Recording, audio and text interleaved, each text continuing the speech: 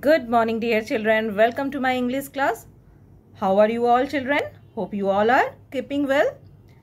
So children, in previous class we have learned about yes it is. Okay. Now today we shall learn when do we use no it is not. Now look all the things. Is it a rabbit? Is it a rabbit no it is not क्या ये rabbit है? नहीं है rabbit तो आपको क्या बोलना है?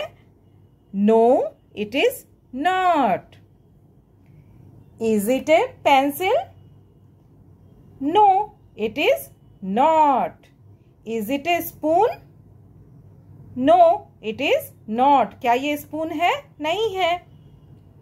ये तो फोर्क है. It is a fork So, you will say, no, it is not. Is it a pencil? No, it is not.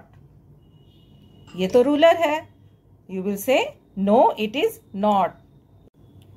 Now children tell me, is it a lion? No, it is not. क्या ये lion है? No, it is not. ये क्या है? It is a toy so you will say no it is not now is it a banana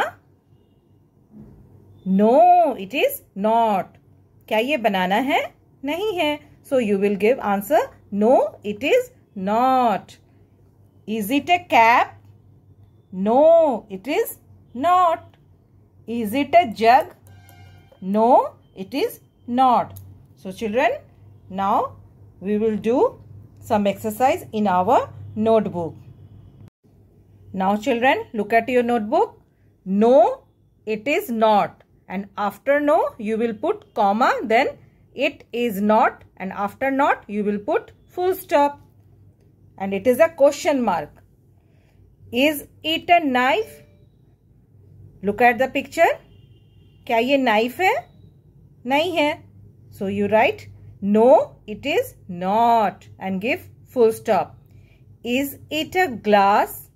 क्या ये glass है? देखिए तो ये ग्लास का पिक्चर है? नहीं है. So no after no you will put comma it is not is it a guava question mark is it a guava क्या ये ग्वाभा है? No it is not is it a chair देखिए तो ये chair का picture है, नहीं है।